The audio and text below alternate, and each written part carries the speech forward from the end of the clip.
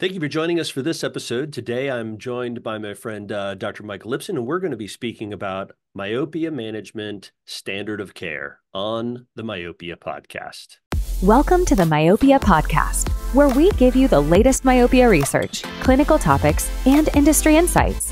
Make sure to subscribe to stay up to date on all awesome myopia content. And now to our host, a massive myopia manager himself, Dr. David Kading. Hey, friends, before we get started on the podcast, I just wanted to bring up that we're doing something called the Myopia Workshop. Our first one is December 6th and 7th at the Hilton Bellevue, which is right outside of Seattle. We're going to be bringing in uh, leading experts around myopia management uh, Randy Kojima, Pat Caroline, uh, Christina Yee, uh, and, and others to talk about myopia management and implementing it into your practice. So many people are telling me, I want to get started on myopia management, or we're doing myopia management, but our conversions aren't very high. We want to be looking at how to get your conversions to 90%. How do you talk with parents and kiddos to get them started on myopia management as soon as possible? Check out the myopiaworkshop.com and plan to be with us December 6th and 7th. If you're listening to this after December 6th or 7th, 2024, make sure to stay tuned to the Myopia Workshop uh, website, and we'll be directing you towards other workshops in the future. Thanks for joining us. Thanks again for joining us. Uh, Dr. Lipson, how are you, my man? It's good to see you. Doing great. How you doing, Dave? Ah, it's so good. It's uh, it's awesome to get to talk to you about uh, some nerdy things. I always uh, enjoy chatting with you because you've, you, as a clinician, you bring research perspectives that all of us want to know. You bring this perspective on things because you we're a clinician for so long and have everything. So, for those who aren't aware of what you're up to these days, uh, tell us about uh, your retirement and how you're just sitting on the beach all the time and doing nothing. Well, I'm happily retired from clinical practice. right. I am right. uh, enjoying the beautiful Michigan summer right now. Um, I, I, try to be outside as much as I can and uh, doing sports. I still play softball, pickleball, ride my bike, and play my guitar a little bit. Good and uh, I do find a little time to do a little consulting to uh, keep my head in the game here of uh, eye care as well. So it's uh, it's kind of fun, but uh, nothing yep. I have to do, and it keeps me busy. The days go by fast, and uh, I, I enjoy keeping up with our ever changing and constantly changing field of mm-hmm. myopia management, contact lenses, ortho K, and all those other things that I'm interested in. Well, I've I've always said if it wasn't for patients, we could get things done. And now that you are uh, not seeing patients anymore, it seems like you are definitely getting things done from having this book that you put out a while ago, the articles that you're writing. I mean, these things yep. you did in clinical practice too, but yep. it seems like you're uh, you're not slowing down on the other side of things, the things that I benefit from. Maybe your oh, patients good. aren't benefiting, but yeah, so that's really awesome. Very cool. Oh, thanks. Yeah. yeah. Well, you wrote uh, a great little uh, uh, thing in the uh, optometry and vision science. I believe it was July of 2024 and uh, really started diving into this question is myopia management the standard of care uh, for, so first of all why did you put this together and great guess, great recap here um, it was published not as a research article, but as a letter to the editor. Right. I think they felt that there was some opinion came, coming in there, but I guess I tried to present it with a lot of citations and supporting literature from, you know, very recognized, internationally recognized sources. Um, but basically, I mean, it, it came from me, I guess, seeing all the uh, publications that are out there. It seems like in every publication that we see in eye care today, there's an article about myopia, myopia management. Mm-hmm. In every meeting that's promoted, there's something about myopia management. In the numerous webinars that are going on constantly, seems like every week there's one on myopia management. So yeah. I started looking at that and thinking, you know, back to my practice and talking to some colleagues who are still in practice and you know myopia management is a hot topic and i guess i love it so much and i get passionate about it that i thought it's reached a level that every optometrist should be doing it, should be at least aware of it, if nothing else. And if they're um, really trained in it, you know, everybody should be doing it, but uh, everybody at least should be aware of it from older to younger to, uh, you know, basically any modality of practice, all of the doctors should be aware of myopia management. So I tried to give uh, some support to credibility for accepting this practice that became standard of practice for me, that it should be considered standard of care yeah. for yeah. our whole profession. Unfortunately, I think that there are a lot of people who see this as a subspecialty. And, uh, you know, when we all started uh, checking for glaucoma, that was not a subspecialty. That was just like, oh, now we need to be checking for people on this. We need to be exactly. looking at the back of the eye for, you know, the optic nerve. And oh, now we're looking at the macula. Oh, we're looking at the peripheral retina. We're dilating. Those are things that may have, for a brief period of time, been been seen as a specialty, but then eventually it became standard of care, and that was something that everybody did. So take us back to another paper that you did where you were looking at orthokeratology and people that were doing that. And I, I'm going to tie these two together in some way. Can you remind me approximately how many uh, people are doing orthokeratology in the United States? Uh, referencing back to uh, a survey that mm-hmm. I published uh, with Louise Curcio uh, back in 2022. It was a survey of you know orthokeratology, trying to find the status of what's going on with ortho K mm-hmm. throughout the United States. And at that point, we had a very good estimate that there were about 3,000 doctors who were practicing ortho K. Yeah. Whether it was how active they were, we couldn't determine, but they were have ordered lenses at least within the last year. Uh-huh. And and some yeah. of those practices were ordering, you know, two patients a year, and others were doing um, probably 20 patients a day. uh-huh. So yeah, so yeah. there was there was quite a variation in that, but about 3,000 active prescribers of ortho yeah. So so now with the other modalities being outside of myopia management, which you know we in the United States at least we have you know, spec we don't have spectacles yet. We have orthokeratology, soft multifocals, atropine, um, and but orthokeratology, having been the oldest one that's been around, if only three thousand people are doing it, we know it is not yet standard of care. So in your paper, uh, when you were your letter to the editor, you talked about some um, some organizations who are pretty credible organizations, and I think we could probably put the American Optometric Association with their recent um, venture uh, along with CooperVision and, and others uh, along uh, myopia management uh, as being something where they're seeing it slide into standard of care, whether they're calling it that yet or not. But you you you talked about the International Myopia Institute, the American Academy of Ophthalmology, World Council of Optometry, the World Society of Pediatric Ophthalmology, and Strabismus. Mm-hmm. So these are not just optometry organizations; these are eye care organizations, ophthalmology exactly. industry as well. So that kind of speaks to you know these organizations are calling it standard of care and i think that's a good start for us do you agree it's a great start that people are recognizing myopia number one is a more than just an inconvenience or a refractive yeah. error that myopia is a serious vision condition and you know creates risk for patients in terms of their long-term eye health as well as issues that affect both immediate and uh, more short-term uh, effects on their vision. Uh, but yes, uh, the AOA really stopped short of yeah. coming to a standard of care statement. They they actually put out a guideline for treatment, you know, mm-hmm. for those who are actually treating. But um, you know, uh, like especially the IMI, they've been a big leader in that. The International yeah. Myopia Institute have really taken the lead, and this World Council of Optometry. Um, yeah.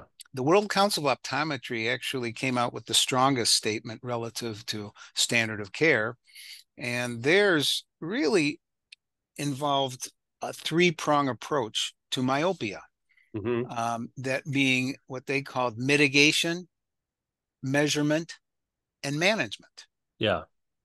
And uh, taking those strong approaches, basically, they made some very definite recommendations along those lines on how doctors can take a more active role in uh, delaying myopia onset in mm-hmm. terms of uh, the measurement and, and follow up that's necessary to uh, track these kids as they uh, grow and develop, and as well as the management aspects of it. So yeah, they took they took the strongest stand. Yeah, I like their that mitigation because they're they're they're acknowledging right up front that we can prevent and delay the onset, right? Exactly. That's the first place that we have to go. So many people are focusing on end stage disease that we fail to realize that we can stop end stage disease if we stop it at the onset. Mm-hmm. And that's really, I think, where some of us are are are frustrated uh, at our profession. Obviously, we need to take care of those people who are struggling. But then, you know, we're also bringing up refraction and axial length on the measurement component, and we're starting to realize that myopia is not a refractive error. It is an axial length disease that's growing and stretching of the eye, causing all of those problems. Such an incredible component. So, next steps here is where do we need to go uh, to help our clinician friends see this as standard of care and what's keeping us from getting there. Let's I solve think, that problem, Dr. Lipson. Just yeah, fig- figure it out for all of us. Yeah, really, it's a simple solution, right? um, it's really getting people to accept the fact that um, number one, we have the power to actually impact myopia progression, to um, maybe delay its onset, but then to slow down its progression. And for many years, in, in terms of our education, the standard prescribing practices just said, okay, you should get a full correction for myopia. Yeah. You should correct your distance vision so that your vision is optimized for distance. And um, I think realizing that we have control over this, we can impact the end result of where that patient will end up, what the ultimate axial length of a patient may be in, with our intervention versus not intervening in these ways that we have shown been shown that are evidence-based ways to slow down progression. Yeah. yeah. I think this may be a, a good time to diverge slightly from your question, not terribly, but sure that a lot of terminology has been thrown around relative to using the word myopia control versus myopia management. Okay. And mm-hmm. to throw in the third one, myopia correction. And I think the confusion there has muddled some of the surveys that have been out there to try to estimate how many doctors are actually involved in myopia control, myopia management today. Hmm because some of the doctors answering this says, well, I prescribe um, correction for my myopic patients. So I'm doing myopia management. I'm managing their myopia yeah. in the way that I feel is best. But to try to define it, I guess I did this in this letter, uh, which is in, like I said, July's issue of OVS. Um, myopia correction is the standard prescribing of single vision contact lenses or glasses for the full distance correction. Period. Mm-hmm. That's what we defined as myopia correction. When we talk about myopia control, we're talking about treatment modalities and interventions with proven efficacy to slow myopic progression and axial elongation. Yep. And as you mentioned before, that includes orthokeratology, multifocal soft lenses, special design spectacles, not in the US just yet, um, and atropine. So those are myopia control modalities. When we talk about defining myopia management for purposes of this letter, and I think for our discussion for the rest of the evening here, we can talk about various strategies. Myopia management employing various strategies to slow myopic progression and axial elongation, plus behavioral, lifestyle, and environmental modifications to delay and or slow that progression and axial elongation. So it, it takes myopia control and adds some of the um, additional factors that we can prescribe, especially the lifestyle changes. Yeah. Boy, that's good. That is uh, so brilliant. You know, I have been on forums and, you know, things on online, and people are like, no, I do myopia management and uh, they prescribe for their patients. But I really like this separation uh, that you've how you've laid it out there mm-hmm. of myopia control. Um, if that's all you can do in your practice, great. That's a good start. But when you're managing myopia, you are following, adjusting, uh, changing, behaviorally modifying every aspect to really exactly manage the level of myopia that a patient develops. And I love that. I think about a great case example of that is um, uh, the brother uh, had myopia management, had been in myopia management for two years in my practice. Mm-hmm. And the little sister was having exams and uh, she was um, hyperopic, uh, but she had gone from a plus one to a plus 50 at the age of five. And uh, so I intervened with atropine at plus 50, and then she was plano, and she was progressing very quickly in her axial length, somewhat in her refractive error. But we then added additional modifications because we were managing her myopia. Was so confusing to her parents that we were utilizing optical corrections and pharmaceutical corrections to manage her myopia mm-hmm. not being her refractive error, right? Being her axial length elongation. Exactly. I just think that the way you define that and really put it out there is so key.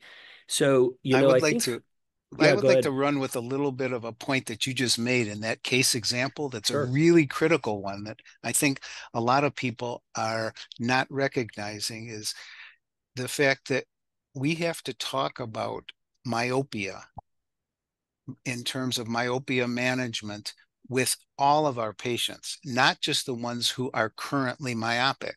Yep. We have to start with them at four, five, six years old, pre myopia.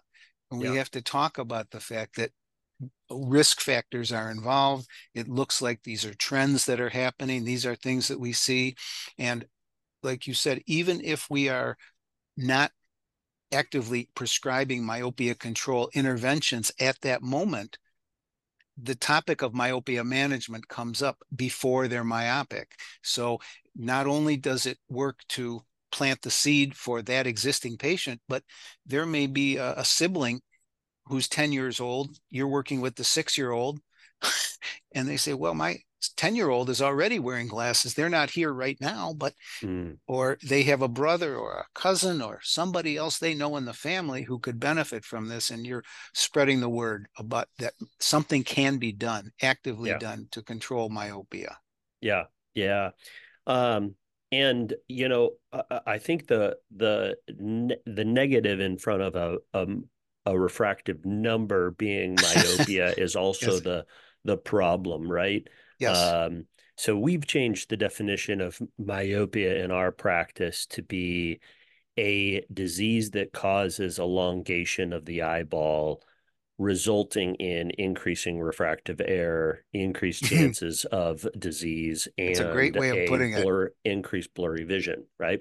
So the disease is when the eyeball is getting longer at an abnormal rate, right? We do exactly. see normal growth, but abnormally.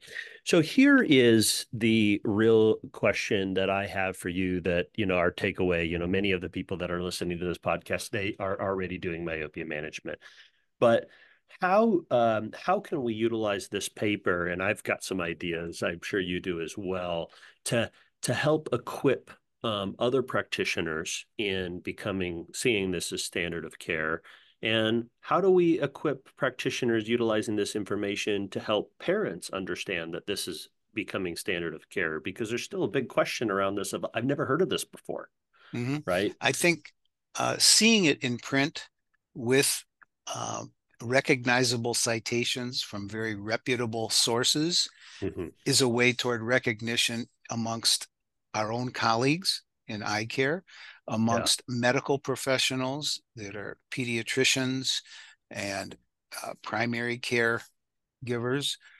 Uh, many of those kind of people need something in print. They can't just take the word of the doctor up the street. They want to see something that's validated, that's yeah. scientifically backed. And I think that is a, an important factor. And, and I think this letter that I wrote has that kind of a backing and those kind of uh, reputable sources to go on. But I think there are other ones that are out there. Another very uh, recently published paper by our friend Mark Bullimore mm-hmm. is um, is called Myopia Management: Seeing Beyond Efficacy. Yeah, and I'm sure you've seen that. But basically, it talks not just about how much you're slowing myopia, but the other very important factors when you enter into myopia management with a child that include you know the compliance of whatever you're prescribing compliance with this uh, their overall quality of vision uh, uh the, the big factor that i always like quality of life vision related yep. quality of life is improved when people are patients are using uh, ortho K specifically and soft lenses mm-hmm. as well versus glasses and and safety issues that are involved but the quality of life issues that you the patients benefit from are, are immediate meaning you know with ortho K the quality of life they don't have to wear correction during the day. Short term um, they can do other activities that they may not have ventured into and, and long-term things that are hopefully reducing their overall risk for uh, serious disease as an adult. Yeah. No absolutely.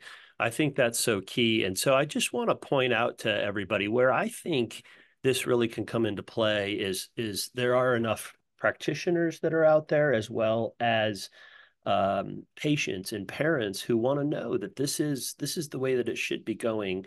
Um, we're doing this in our office because we consider the standard of care, and so many other people mm-hmm. consider this standard of care. So you may not have heard of this yet, but that's because we're on top of our game. We're up up to speed with what people should be doing in their practice utilizing the resources that Dr. Lipson put into this paper, which will include the link in this podcast. But if you simply type in letter to the editor, myopia management is now standard of care, you will be directed to the OVS, Optometry Vision Science um, uh, article there. And then he also mentioned the one about myopia control seeing beyond efficacy, which if you simply type that in, you will get a, uh, a, a, a, directed to that on, on Google or, or Bing or whatever you use but also we'll include both of those links. Having those resources available for parents who are questioning or curious about it or including it in your myopia management implementation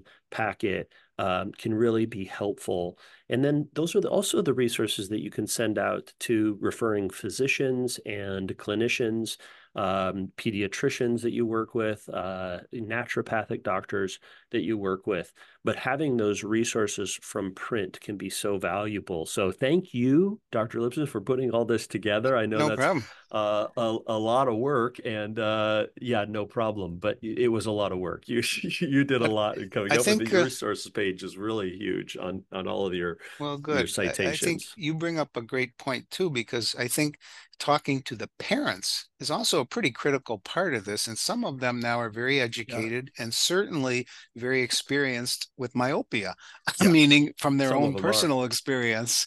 Yeah. And so basically, as you kind of described it just now, I mean, when you're making your case presentation to the patient and the parents, you can say, well, when you were growing up, you know, basically all we had was you know prescribing glasses or contacts and now things have developed there's a, there's a new game in town basically is we are now able to intervene to change that course of myopia progression for your child yeah absolutely so key so key well, awesome. Um, we uh, we sure appreciate you bringing this up to us. And uh, any closing thoughts here on what to do next and where do we go, uh, or what you're working on that you're going to enlighten us with in the future?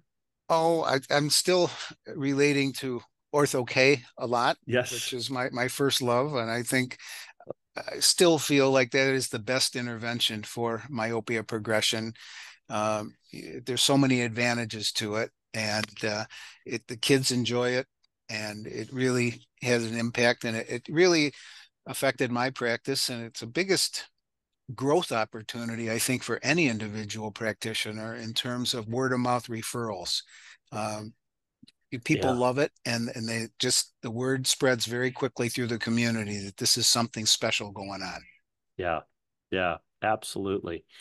Well thank you for being on the show. We sure appreciate your perspective oh, great. That's 43 references. You had yes. a huge huge uh, effort there and we're sure grateful for the work that you do and thank you for joining us for the myopia podcast Make sure to like and subscribe. Stay tuned for next time.